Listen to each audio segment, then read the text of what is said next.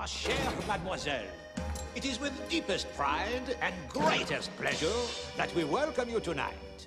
And now, we invite you to relax, just pull up a chair, as the dining room proudly presents your dinner. Be our guest. Be our guest. Put our service to the test. Tie your napkin round your neck, chérie, and we provide the rest. Soup du jour, hot hors d'oeuvre. Why, we only live to serve. Try the gray stuff. It's delicious. Don't believe me? Ask the dishes. They can sing, they can dance. After all, miss, this is France. And a dinner here is never second best. Go on, unfold your menu, take a glance, and then you'll be our guest. We, our guest, be our guest. Beef ragout, cheese soufflé, pie and pudding on flambe. We'll prepare and serve with flair a culinary cabaret. You're alone and you're scared, but the banquet's all prepared. No one's gloomy or complaining, while the flatware's entertaining. We tell jokes, I do tricks with my fellow candlesticks. Put it all in perfect taste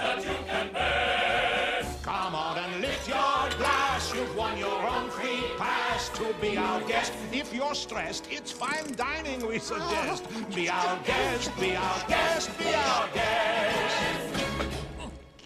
Life is so unnerving for a servant who's not serving. He's not whole without a soul to wait upon. Ah, those good old days when we were useful. Suddenly, those good old days are gone. Ten years we've been rusting, needing so much more than dusting, needing exercise, a chance to use our skills. Most days we just lay around the castle. Flabby, fat, and lazy. You walked in and oops a daisy. It's a guest, it's a guest. Sakes alive that I'll be blessed. Wine's been and thank the Lord I've had the napkins freshly pressed. With dessert, she'll want tea. And my dear, that's fine with me. While the cups do this, I'll it. I'll be bubbling, I'll be brewing. I'll get warm, been hot. Heaven's sakes, is that a spot? Clearly that, we want the company impressed. We've got a lot to do. Is it one love or two? For you, our guest. She's